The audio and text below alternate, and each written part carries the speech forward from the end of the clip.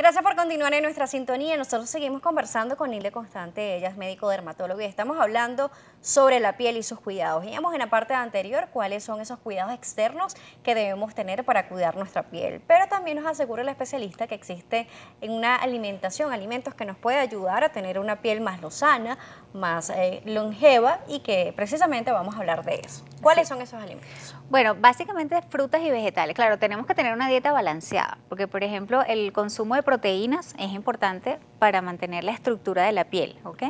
Pero en lo que respecta a los antioxidantes, que es lo que se utiliza muchas veces tópico, lo que te comentaba de la vitamina C, la vitamina C está contenida en muchísimas frutas y vegetales y es una pieza importantísima, no solamente de la salud en general, sino de la salud de la piel. Cuando hablamos de antioxidantes, es lo que revierte el efecto de unos elementos que se llaman radicales libres. Los radicales libres están implicados tanto en la formación de cáncer como en el envejecimiento cutáneo. Entonces es, fundamental que tengamos una dieta que esté rica en, antioxidantes. ¿Cuáles son? Bueno, todas las frutas y vegetales, mientras más coloridos sean, mejor. ¿okay? Eh, aquí en Venezuela, por ejemplo, tenemos disponible el aguacate. El, aguacate. es un elemento importantísimo, cargado de antioxidantes y de otros elementos que son muy beneficiosos para la piel. Vitaminas, este, omega 3, tiene ácidos grasos que son buenos, que no te, no, te van a hacer daño y te hidratan de adentro hacia afuera. Este, luego tenemos, bueno, igual con el caso de los vegetales, lo mismo. Mientras sean vegetales más llenos de color, más antioxidantes tienen y más beneficiosos van a ser para la piel. La zanahoria, muy común, muy demandada. Porque muchas personas, por ejemplo, antes de ir a la playa, toman jugo de zanahoria, se comen la zanahoria. ¿Realmente la zanahoria nos va a proporcionar vitaminas para nuestra piel o solamente contribuye a la parte del color una vez? No, no, eh, tiene, tiene vitaminas y tiene elementos que son muy buenos tanto para la piel como para el resto del organismo, inclusive para la salud visual. este, luego, otra cosita que quería acotarte en, con respecto al, ejercicio.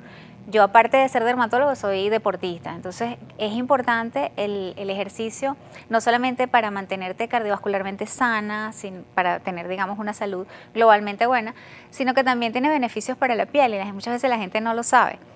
Eh, el tema de sudar, por ejemplo, eh, hace que elimines toxinas a través de la sudoración, eh, el, estar haciendo ejercicio incrementa el flujo sanguíneo a nivel de la piel, por eso te ves como rojita luego de hacer ejercicio, y el aumentar ese flujo sanguíneo te lleva oxígeno y otra cantidad de nutrientes a la piel que van a mejorar tu aspecto. El sudor limpia entonces nuestra piel, nuestros poros y la desintoxica. no lo sabe. Exacto, desintoxica, es así. Bastante importante saber esto. Vamos a la alimentación, nombrábamos el aguacate, nombrábamos la zanahoria, qué alimentos ahora no deberíamos por lo menos evitar como mucho las comidas chatarras que debemos evitar. Sí, definitivamente todo lo que tiene que ver con comidas chatarras, grasas que no sean saludables para nuestro cuerpo, frituras, ese tipo de cosas. Eh, con respecto a los, eh, eso es un tema aparte, pero la gente que tiene acné, es una pregunta muy frecuente, bueno, ¿puedo o no puedo comer cierto tipo de alimentos? Realmente la relación directa con el chocolate, por ejemplo, que es una comida que tienden a evitar los, pacientes con acné, no está del todo demostrado. De hecho, el chocolate negro, siempre y cuando sea chocolate negro, tiene antioxidantes también, que son muy beneficiosos para la piel y para la salud en general. Ahora, lo que sí se ha demostrado que es preferible evitar en el caso de que tengas un brote de acné son los lácteos, porque eso sí ha habido una relación más o menos directa, según algunos estudios, en la exacerbación o en la producción de acné con, la ingesta de lácteos. Muy bien, tenemos ya esas recomendaciones de una alimentación balanceada, entre más verde va a ser mucho mejor. Verde, rojo, de todos los colores. colorida. El tomate también es buenísimo, por ejemplo, para la piel y para la salud, porque tiene un componente que se llama licopena, que es excelente también como, como promotor de la salud. Muy importante estos, agua, alimentación balanceada, colorida, ejercicio. fundamental. uso de protector solar, no solamente las mujeres. Porque se cree que el cuidado de la piel es un tema solamente de mujeres y no solamente para las mujeres. Porque el cuidado de la piel, el uso de protector solar también va a ayudar a hombres y mujeres y niños también a evitar otras complicaciones, cáncer de piel o de repente algunas condiciones o complicaciones menos agresivas, algunas más, marcas, manchas o eh, relacionadas a las lesiones de piel. Entonces es fundamental. De hecho, es importante también, ahora que tocas el tema de los hombres, eh, es cierto, los hombres deben protegerse diariamente, al igual que las mujeres, Y también quitarnos esa creencia de que como yo soy moreno o soy eh, negrito o soy negrita o soy morena, eh, no tenemos que usar protector. Eh, ciertamente las pieles más oscuras están un poquito más protegidas porque tienen más melanina y están un poco más protegidas que una piel muy blanca. Pero al igual que las personas morenas, el uso del protector es importante en personas blancas y morenas, esté soleado o esté nublado. Los rayos ultravioleta pasan las nubes, entonces es importante también que nos protejamos los días que vemos que no están bonitos, hay que también colocarse protector. Sí, porque estamos en un país del trópico y que no solamente, a pesar de que no veamos el sol, siempre vamos a tener sol, siempre, va a estar presente. Siempre, los rayos pasan siempre.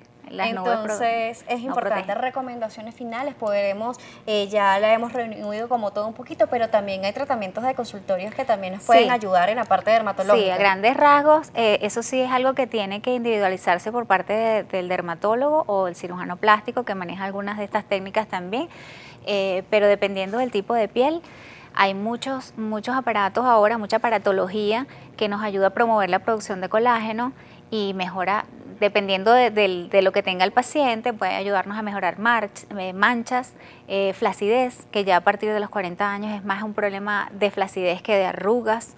Em, para eso contamos con equipos de láser, dependiendo de, la necesidad, como te digo, se usan láser diferentes. Está luego la radiofrecuencia, que también nos ayuda a promover la producción de colágeno, mejora el aspecto de la piel en general, pero además de eso también promueve la tensión. Entonces te ayuda, es una especie de lifting no quirúrgico. Ahora, el aparato tal vez más nuevo que está disponible en algunos sitios en Venezuela es el ultrasonido profundo, lo que se llama el Ultherapy, y es prácticamente como un lifting sin cirugía y tiene una duración aproximadamente de año y medio, dos años. Totalmente individual todo el proceso que se vaya a hacer. Sí, debe Siempre ser importante de que sea por el dermatólogo, pero las herramientas que queremos dar hoy es para que sepa cómo puede actuar y cómo tener todo eso que usted necesita para poder tener una buena salud, no solamente por dentro, sino también por fuera, porque la piel nos va a proteger de todos esos agentes externos que quieren entrar a nuestro organismo y nos protege de esos virus y bacterias. Ya queremos que les ofrezca a las personas que nos están viendo el día de hoy cuáles son sus redes sociales, cómo la pueden conseguir. Ok, eh, mi red social principal es arroba fitdermom, eh, es la red de Instagram a través de esa página me manejo directamente. Muy bien, queremos cualquier duda la pueden enviar por allí directo. Queremos agradecer su presencia la tarde de hoy acá con nosotros en Noticias Globovisión Salud. Nosotros hemos terminado por la tarde de hoy. Si quiere ver la entrevista otra vez, visite www.globovision.com en la sección de salud. Nos sigue por Twitter como arroba salud-gb por Instagram como arroba Daniela J. Salas. Que tengan una excelente tarde.